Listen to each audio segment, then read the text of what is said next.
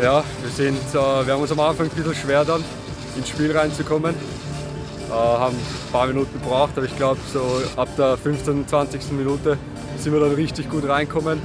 Waren aktiv, haben die Zweikämpfe gewonnen, äh, haben dann auch richtig gute Chancen rausgespielt. Eine Elfer gehabt, leider nicht verwertet, aber nichtsdestotrotz, aber auch zweite Halbzeit würde ich sagen, waren wir die spielbestimmende Mannschaft. Aber es hat heute leider nicht sein sollen.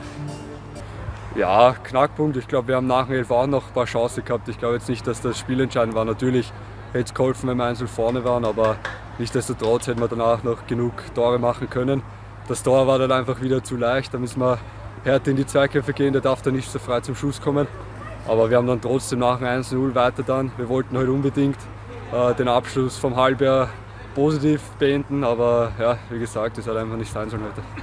Ja, absolut. Also ich glaube, man hat gesehen, dass die Mannschaft äh, absolut willig ist. Wir waren extrem gut auf das Spiel eingestellt. Wir haben uns voll reingehauen und ich glaube, dass wir jetzt, wenn wir dann die Vorbereitung haben und dann die Rückrunde, da werden wir auf jeden Fall um einiges gefährlicher sein, um einiges mehr mitnehmen und ich glaube, dass die Gegner dann vor uns viel mehr Angst haben müssen.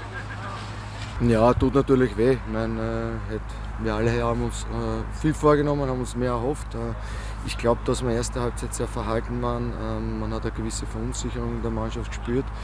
Ähm, da haben wir ein bisschen zu lang gebraucht, auch für unsere Lösungen. Ähm, zweite Halbzeit griffiger, frischer nach vorne, uns auch Möglichkeiten rausgespielt.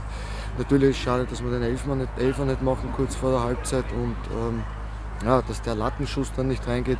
Dennoch glaube ich, dass man, ja, um dann tatsächlich einen Dreier mitzunehmen das unterm Strich dann doch ein bisschen zu wenig war gegen eine sehr junge äh, Red Bull-Mannschaft, die absolut Qualität hat, aber da muss man dann doch über 90 Minuten stabiler und griffiger ja, ans Werk gehen.